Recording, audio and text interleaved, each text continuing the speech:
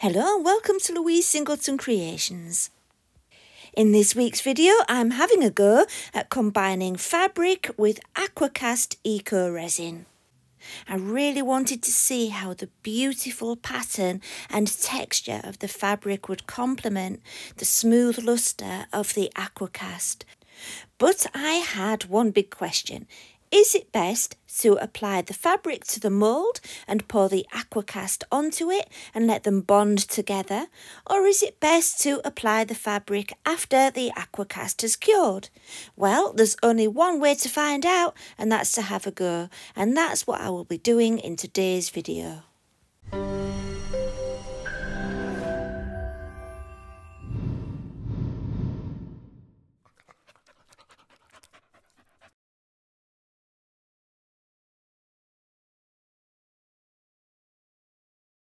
I recently purchased these Stamperia Fantasy World fabrics, which I absolutely fell in love with when I saw them online. Uh, Charmed Cards and Crafts, I'll leave a link in the description.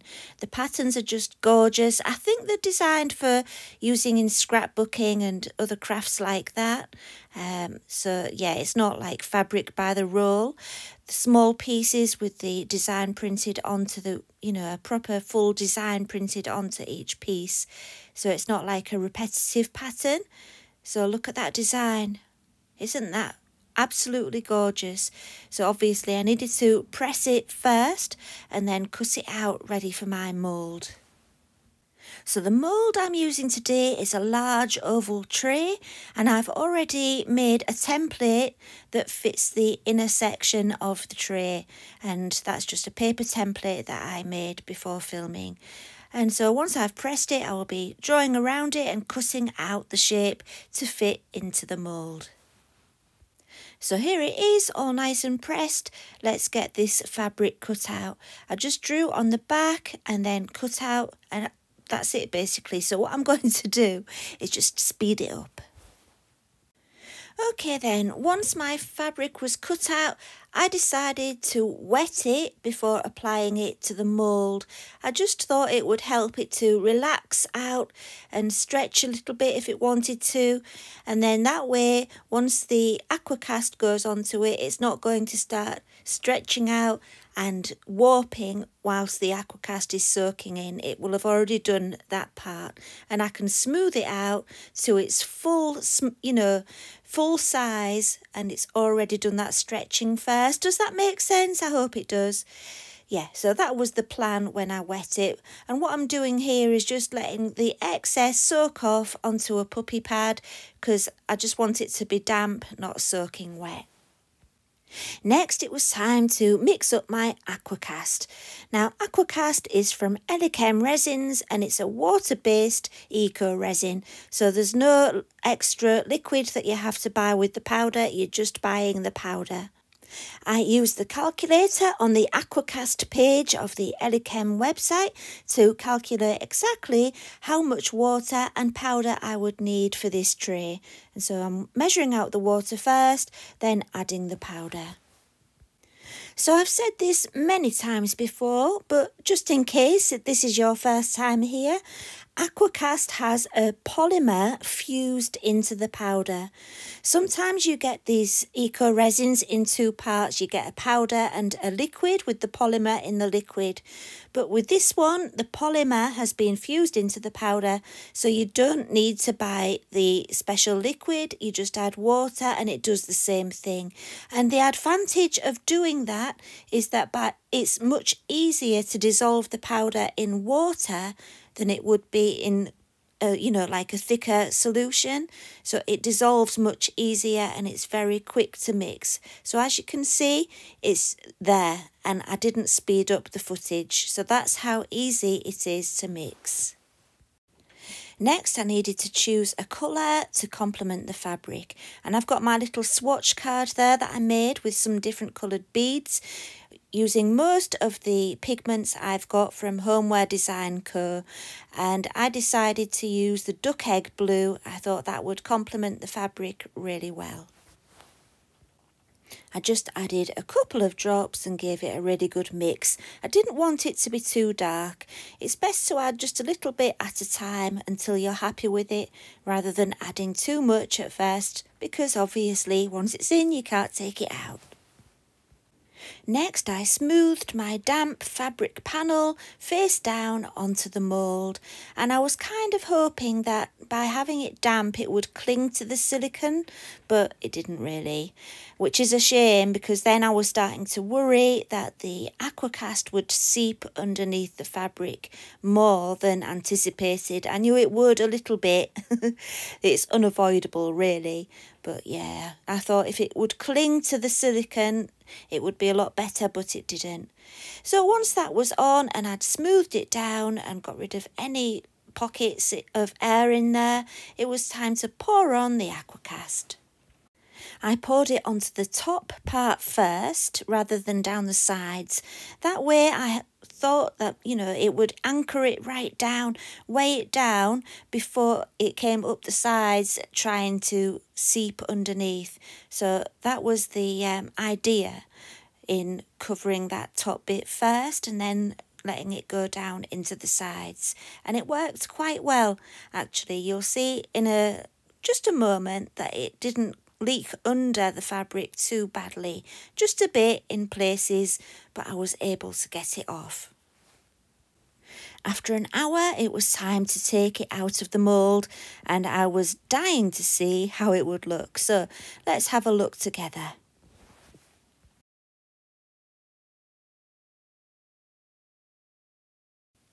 And there we go. It looked really good, didn't it? And that colour I chose for the Aquacast worked really well. And by now you've probably already seen some bits around the edge where it's just seeped underneath a little bit. But that actually came off quite easily just with a craft knife, very gently so I didn't damage the fabric. I just gently chipped away at it and scratched away at the top of the aquacast so gently and it just came off. It flaked away because it was such a thin layer it was fine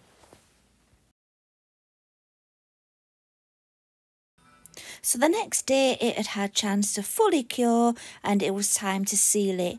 I like to use the Hydroflow sealer, it's the satin sealer, or sometimes I use wax for Aquacast, but with it being the fabric on this, I thought the Hydroflow sealer would work best.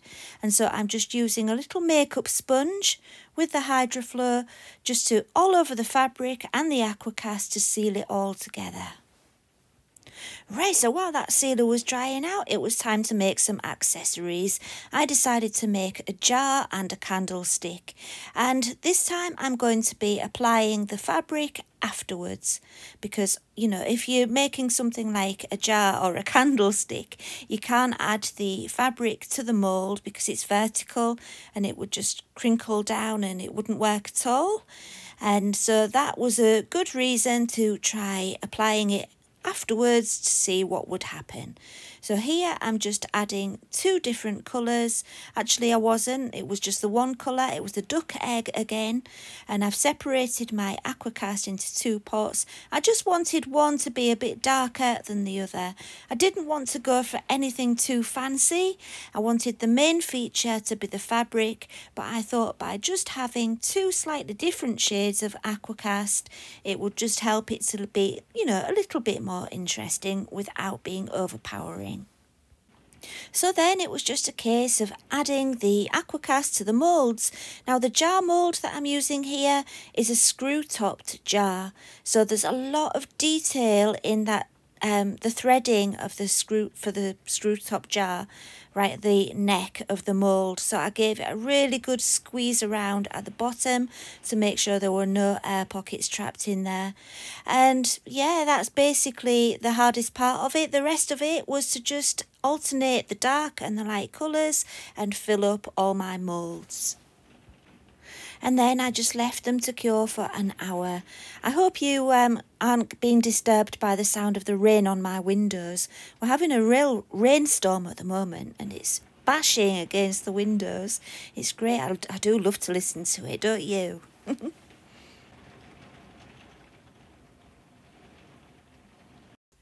Okay, so it's an hour later. Let's see how these turned out.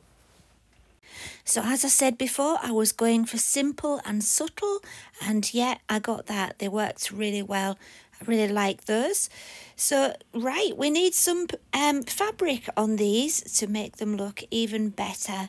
Now, I do apologise for the um, you know the picture quality.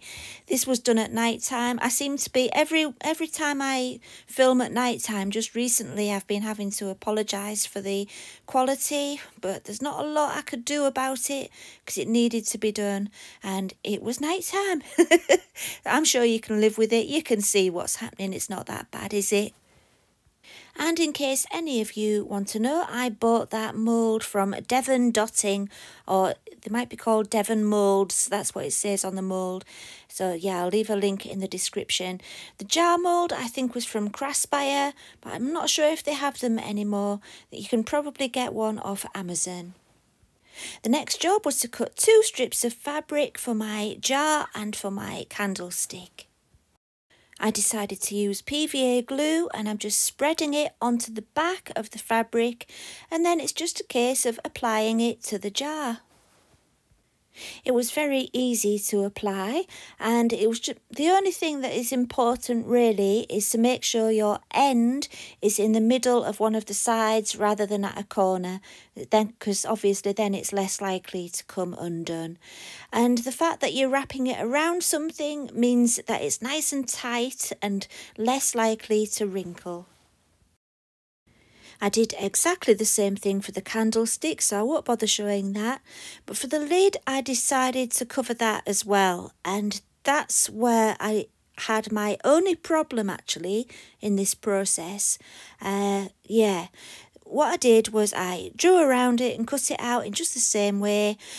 But this time I applied the glue to the lid rather than the fabric. So I was putting dry fabric down and it did wrinkle. I'm not sure if it would have wrinkled if I had have put the glue onto the fabric and made it, you know, made it wet before applying to the lid. Um, yeah, or I'm not sure if it's just because it was on a flat surface and there was no tension like there was when I was wrapping the fabric around the sides of the pot. It could be that as well. But yeah, this is where it didn't work so well and you'll see that soon. Right, it's the next day. We're in natural daylight again. Yes, thank goodness. I hate it when I have to film in the um, artificial light. It never works out well for me. So the glue is dried. Let's see if it's stuck. First I needed to trim any messy edges from around the bottom with some sharp scissors. It had frayed just a little bit around the bottom but when that gets sealed it will all be, you know, it will stick it and stop it from fraying and so that will be fine but it's not sealed yet. But as I was doing the trimming I could see what you can probably see. Where the sides of the jar were a little bit um, inwards from the, you know, the silicon mould not being completely flat, the fabric hadn't stuck down to that very well. And so I'm just using a micro brush to squash some fabric underneath, not fabric, glue underneath to make sure it's completely stuck everywhere. So yeah, it was okay, not too bad, and it easily fixed. Okay, once the glue had dried, you can see what happened. It was all wrinkled and warped. Everything else was fine. It's all been sealed as well. I didn't show you that, but it's all been sealed with the HydroFlow sealer. Uh, yeah, it was only the lid where I had a problem but I'm going to do something to rectify that in a moment. But first of all, I just wanted to decorate all the edges with a little bit of gold marker. I'm using a chrome marker from Let's Resin and that worked really well. I just went around the edge of the top of the candlestick and then I used my finer tipped chrome marker to go around the edge on the jar.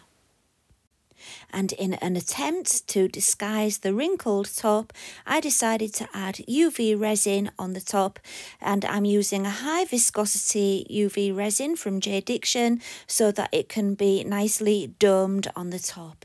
And that did help quite a lot. As you can see here after it had finished curing. That's much better. I could still see it, but not too bad.